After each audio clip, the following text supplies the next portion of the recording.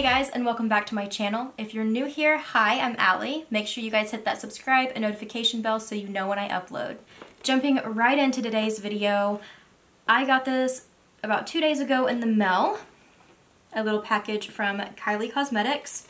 I'm so excited to jump into this. I believe I mentioned this in my last purchase or pass video, but this is her Halloween collection. I'm stoked. Like I'm so excited. I love Halloween and this just, I'm excited. So every order did come with some 3D glasses, which I think is cool. It has little bats on it and it's because all of the packaging is 3D packaging, which is I think really cool. The only downfall to this is the fact that actual packaging on the palette is not the mummy and I think it would have been so cute if she would have done the actual packaging, the mummy too. But all of the names are spooky and we will get to that in a minute. I did also pick up, okay, this is one of her matte regular like bullet lipsticks. So yeah, I love it too. It has like little vampire lips on it and they have like fangs. So all the packaging is super cute. Like I said, it has a mummy on the palette packaging and the inside of it is purple with skulls. So I have just done a few things to my face already. So first, I went ahead and primed my face. I used the Juice Beauty Illuminating Primer. I just did a video on Juice Beauty if you guys want to check it out. I'm still trying this out and seeing what I think for a future hit or miss, but so far, I'm not hating it. So far, I, I really am liking it, but we will see. For brows, I am having an Anastasia Beverly Hills night with my brow definer in the shade Taupe and my clear brow gel. I did go ahead and conceal around my eyebrows and I went ahead and did my lids too, but I have not set my lids yet, so I'm to do that real quick too. But I used the Smashbox. This is their Studio Finish 24 Hour Waterproof Concealer in the shade Fair. I'm going to go ahead and throw some Kat Von D. This is the brightening powder, the Lock-It brightening powder in the shade Petal. Oh my god, I just made a huge mess. Alright, I went ahead and set my lids with the Kat Von D Lock-It brightening powder in the shade Petal, just so that we are ready to jump into the eyes.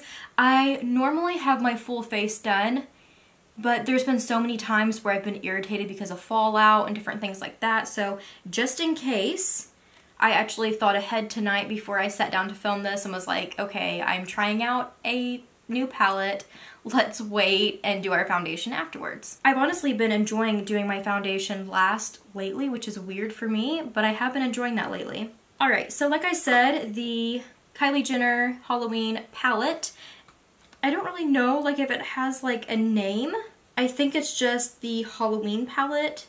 Yeah, I believe it's just the Halloween palette, but I really like the packaging and I'm definitely going to have to keep this because when you open it, it just looks like this. So it's fully black, which is cute, and then the, and the teardrops are like silver metallic.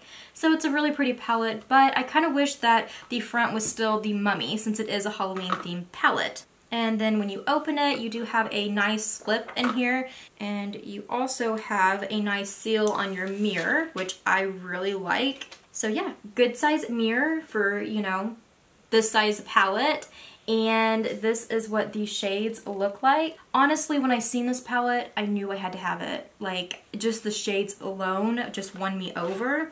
The top gold shade, that orange shade, the purple in this palette, that duochrome top shade. Like, I am just here for these shades. So I am going to go ahead and swatch. Whoa. Look at that pigment though. I've heard mixed reviews on Kylie's palettes. I am still kind of like a newbie to Kylie Cosmetics. I did purchase her birthday collection or some of the items from it. Besides that, I don't really have like any of her palettes that are just like the nine pan like this. So we're gonna just go ahead and dive into a look.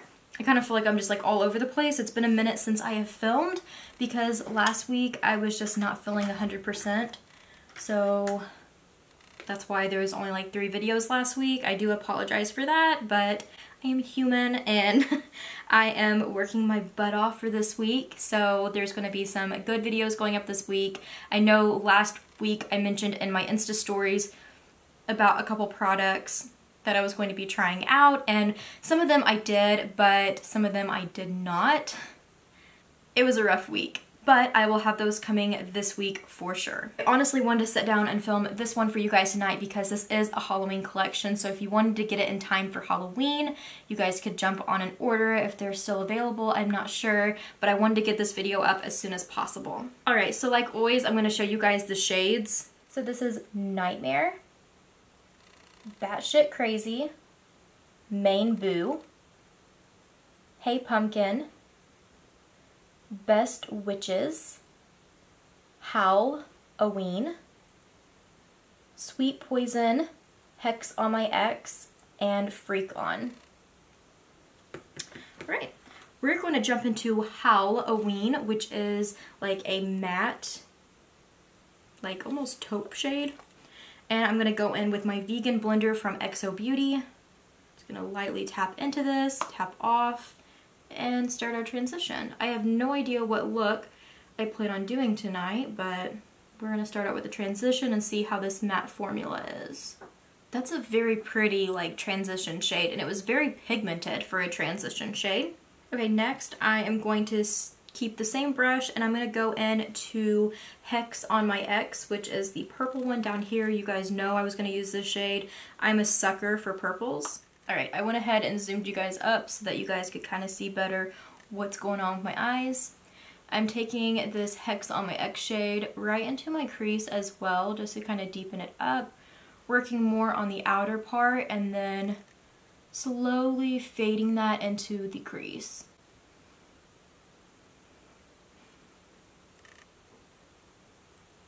I'm going to take it in just a little bit on my lid just like so. You can be a little messy with it if you recreate this because we're going to be putting another shade over that area. But just so this kind of blends together better.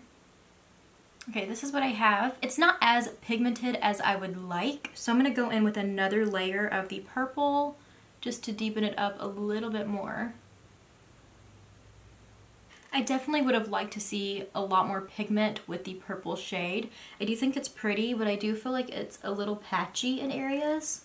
Like to see more purple in it too. I feel like once applied, it's looking more like grayish almost. Hopefully it's picking up good on camera for you guys. I am going to go back into Halloween, which was our transition, and I'm going to just kind of blend out those edges a little bit. Alright, next I'm going to take this Morphe M166. It is a flat eyeshadow brush. And I'm going to take Hey Pumpkin Bright Pigmented Orange. And I'm going to put this right on top of my lid. This is not a look that I would typically wear, so I'm really hoping this turns out good. I'm going to go back in with the XO Beauty brush into the purple Hex on my X and just kind of go on my crease again, blend those shades together, add a little bit more pigment with the Hey Pumpkin on this side. I want that shade to pop. Clean it up. Definitely not a look that you see on my channel a lot, but I'm not hating it. Alright, next I'm going to take this Morphe M578 brush. It is like a little pencil brush, but it's kind of like a thicker one. There, you guys can kind of see it against my pale face. and I'm going to go into the duochrome shade, which is Nightmare, right here. It is super pretty. So many different reflex, and it's almost like a sheer topper. So I'm going to stick this shade like on the inner part of my lid in my very inner corner.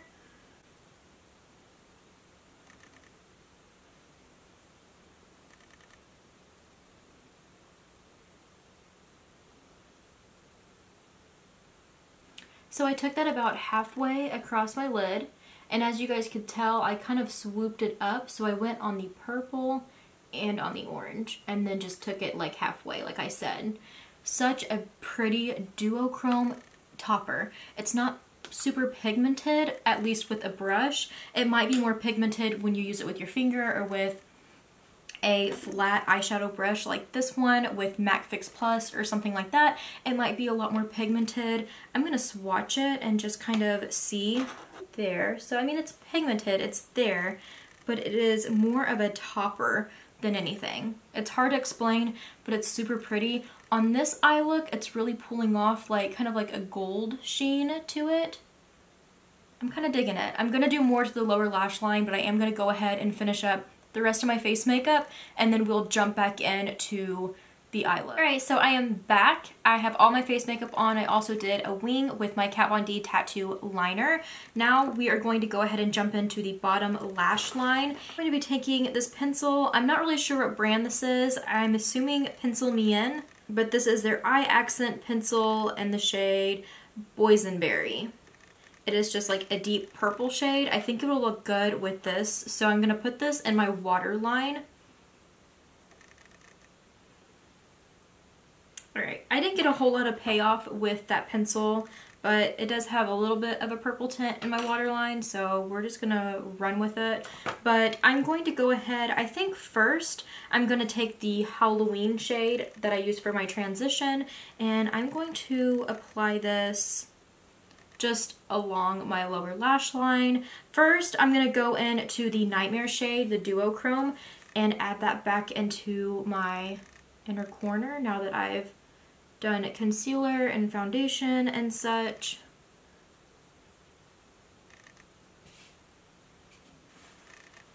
Such a pretty shade. Now, with the same pencil brush, I'm going to take that Halloween shade and just kind of start smoking this bottom lash line a little bit. Do not mind my horrid under eyes. The powder and concealer I used tonight are just not working together and they're looking a little rough. Alright, now I'm going to go into the Hex on My X, the purple shade, and with the same brush, I'm going to start smoking this on my lower lash line. I'm taking the blender brush and like just toning it down a little bit because I did get a little crazy that pigment. It was a lot more pigmented on my lower lash line, so I'm looking pretty smoky now. Alright, I'm going to curl my lashes. Throw on some Benefit Roller Lash and some Demi Wispies, I believe, is what I'm to use tonight. Alright, eyes are complete. Now we're to jump right into the lip. So this is the shade Creep It Real. Pretty cool name. But the packaging on this one is all black. Kylie Jenner is in that metallic silver once again. It is just your standard lipstick. Don't mind all my swatches, but it looks like a really pretty nude. Definitely is a matte formula. I have a lip liner here that is pretty close to it, so I am going to go ahead and line my lips. I don't always do that, but since I know kind of how her formula is already and I know that I like it, I'm going to line my lips. This is the Bella Pierre um, Gel Lip Liner in the shade number 2 Nude. I would say it's about time to pitch this or sharpen it down, see if it's better because I almost felt like I was exfoliating my lips with that. Now I'm going to jump right into Creep It Real.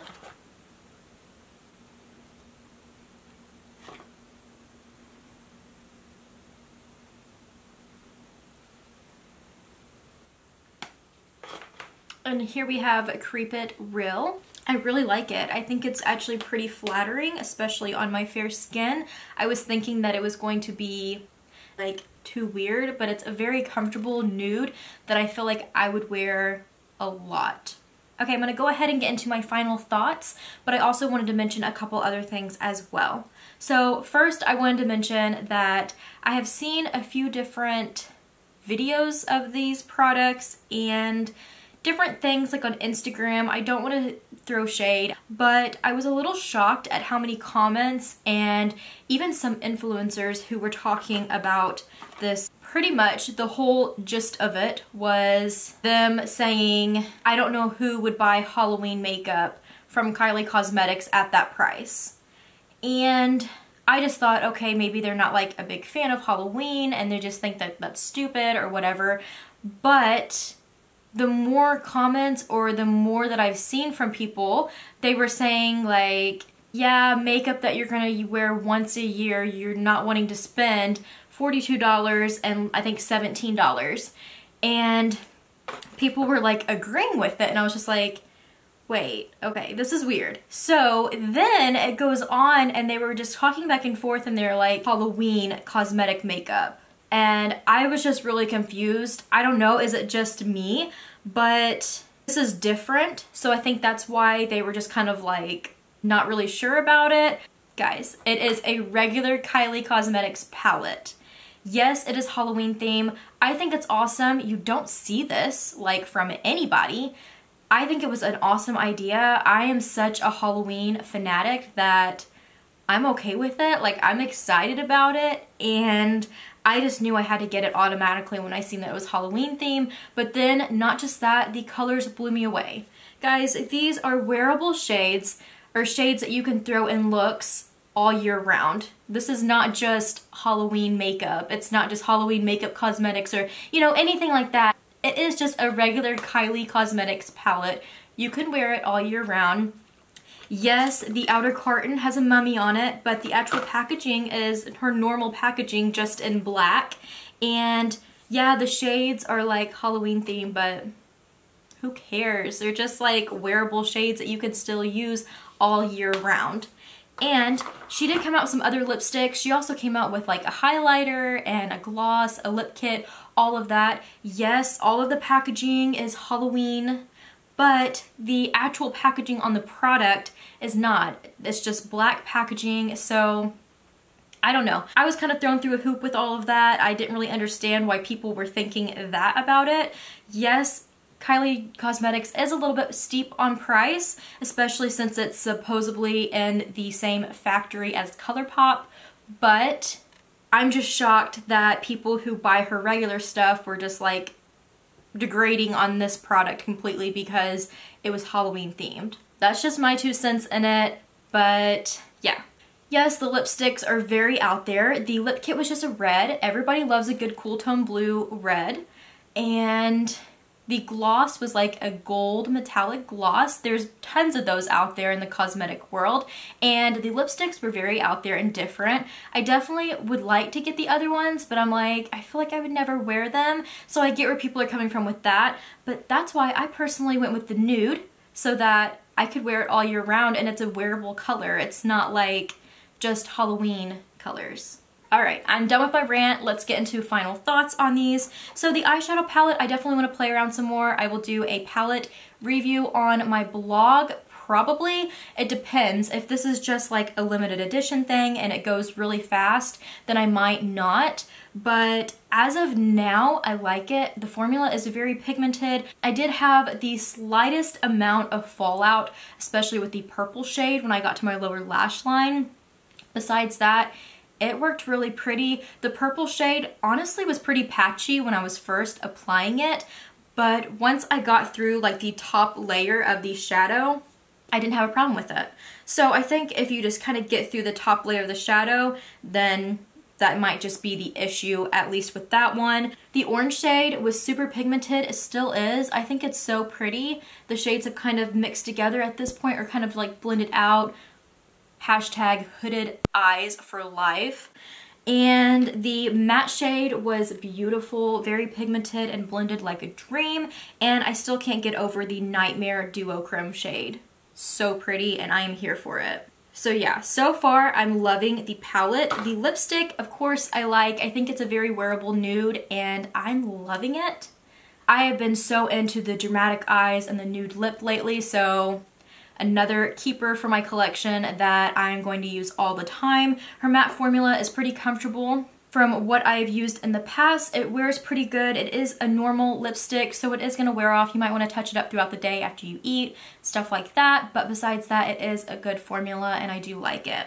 Alright guys, so that pretty much wraps up this video. Let me know what you guys think of this makeup look down in the comments and if you guys are going to try to get your hands on this collection or not. I think it is super cute. I'm excited to keep playing with it and I might even use it for Halloween. So yeah, thank you guys so much for watching and I will see you in my next video.